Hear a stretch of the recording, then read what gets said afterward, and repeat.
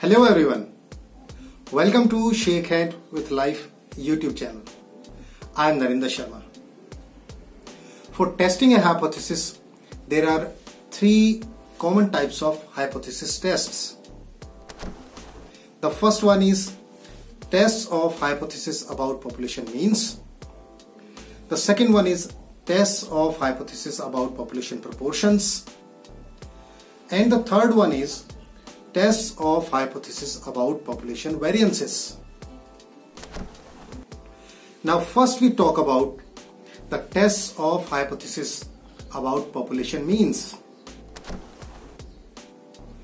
Mean of the population can be tested under different conditions such as population may be normal and other than normal. It may be finite or infinite. Sample size may be large or small. Variance of the population may be known or unknown. And the last one, the alternative hypothesis HA may be two-sided or one-sided. And to test a hypothesis about population means, we can use either Z test or T test. But in this video, we will study only the Z test with an example problem. Now, there are two cases in which the Z test can be used. Number one, when the population standard deviation sigma p is known and the population is normal. The second case is when the population standard deviation sigma p is known, the population is not normal and the sample size is at least 30.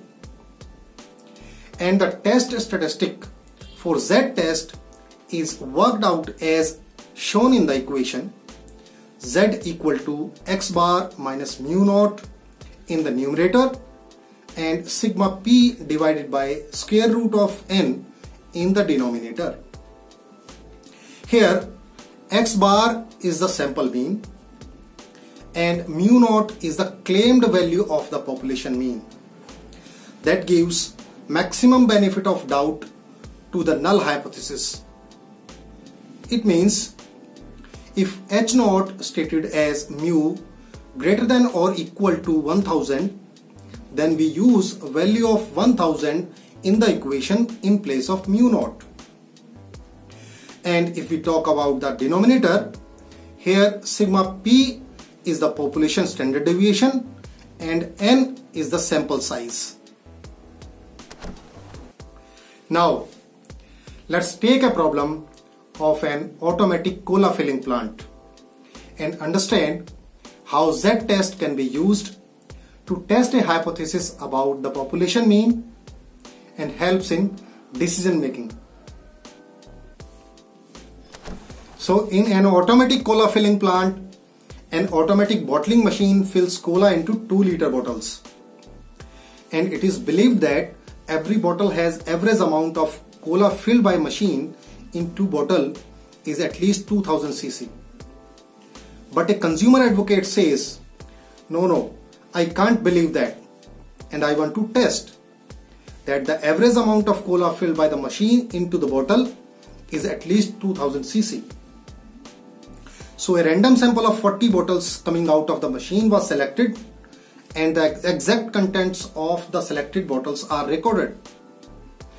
The sample mean of the 40 bottles sample was 1999.6 cc and the population standard deviation is known from past experience to be 1.30 cc. Now, for the given problem, you have to test the null hypothesis. At an alpha of 5%, assume the population is normally distributed with the population standard deviation of 1.30 cc. Second, test the null hypothesis again at an alpha of 5%. Assume that the sample size is only 20 but the sample mean is same which is 1999.6 cc And third, find if there is a difference in the two test results and explain the reason for the difference. Okay, let's solve this problem. First we have to state the null and alternative hypothesis here. So here the null hypothesis can be stated as H naught such that mu greater than or equal to 2000.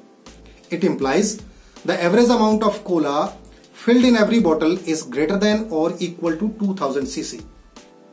And the alternative hypothesis can be stated as HA such that mu less than 2000. It implies the average amount of cola filled in every bottle is less than 2000 cc. Here HA is one-sided and less than type. Hence we will use the left tail test in this problem. You may watch the videos of left tail test, right tail test and two tail test on Shake Hand with Life YouTube channel for hypothesis testing in detail. The links are given in the I mark above and also in the description below. Now take the first case. Here we use the Z test because the population standard deviation is known and the Z statistic is given as Z equal to X bar minus mu naught in numerator and sigma p divided by square root of n in denominator. Here in this equation, the population standard deviation sigma p is given as 1.30 cc the sample size n is 40. Sample mean x bar is 1999.6 cc and the claimed population mean mu naught. That is the average amount of cola in every bottle is 2000 cc. Now put all the given values in the formula and process the result. Such as Z equal to 1999.6 minus 2000 in numerator and 1.30 divided by square root of 40 in denominator. And after processing the Z statistic, we get Z equal to minus 1.95. Now, calculate the p-value for the calculated value of Z statistic and compare it with the given value of alpha of 5%.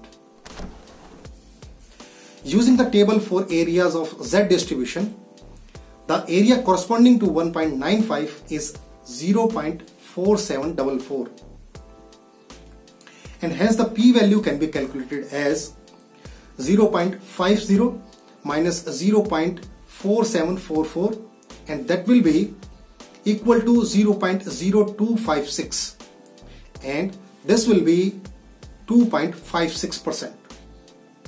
Now the p-value is less than 5%, the given value of alpha under left tail test.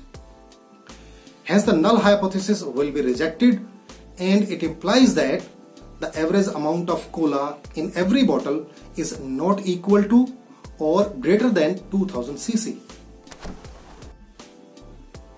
You may watch the video of p-value calculation on Shake Hand with Life YouTube channel. To understand how to calculate the p-value for left tail test, right tail test and two tail test for hypothesis testing in detail. The links are given in the I mark above and in the description below.